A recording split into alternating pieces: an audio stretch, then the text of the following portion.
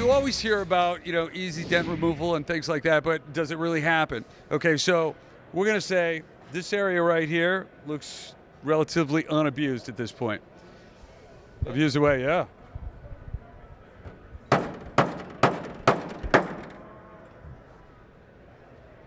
That's a nice dent there.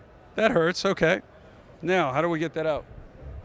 So the first thing he needs to do is, is turn on the device here. Mhm. There's a couple of different ways to set that. So we have first the 0.5 setting and the 1.0, and that's what we use for a paintless dent reduction of, of dents like that.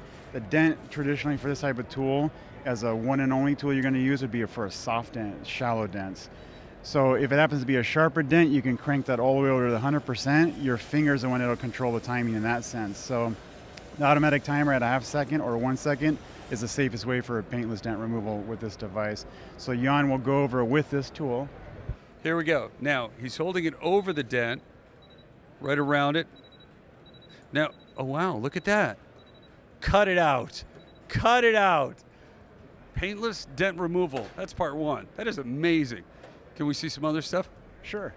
You know, you have a huge bumper, and, and like, again, you're in a parking lot, he could be anywhere, and, and somebody backs into your car, whether it's a, you know, a Prius or a Scion or anything, pretty much so many cars have these one piece wrap around, real pretty bumpers, and the bumper could be okay, but all of a sudden it's hanging off because a little clip like that has been broken. Yeah, or a car wash, which is another real famous one too. So typically what will happen is that a lot of times the shops in the past, they've had to replace the entire bumper. Right. So when you get to that situation, now you're painting the entire bumper and now you're blending two or three other panels on the car. So that's a pretty expensive repair process like you talked about before. So when you're just repairing the tabs on the backside, sometimes that doesn't even need paint. But let's say it's on the front side. Right. The idea is reducing the severity of the repair. That's kind of our core concept and mantra for the company. We take damage, repair in the least invasive process, keep that contained, so that way it doesn't become this over excessive, you know, consumption of time and dollars. Right. So this is one of those things. So we're able to recreate those clips, for example. Now, I saw on the other side here, as we kind of look back, you know, for tears or people come right in and give it a big shot, right down here on this side, and this is a common, common thing you see from shopping malls.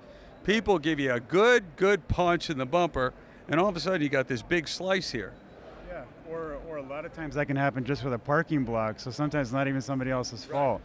So Yeah. you'll get that snag and tear. We have a couple ways to repair this, but the first is to go through the backside. Mm-hmm. So we'll use one of those stainless steel staples, Right. we call them tacks, mm-hmm. and that way it'll reinforce this before you do any welding. The second stage is to go from the backside and basically weld your first bead, and that's your structural reinforcement. When you come back and do the front side of it now with that same process, that's your filler material. So then after that, they'll sand it, feather edge it, and it's ready for prime and paint. Right, and we have a proprietary skim coat for that as well.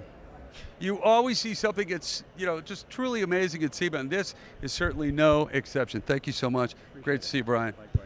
Unbelievable. Once again, this is just really, really groundbreaking stuff.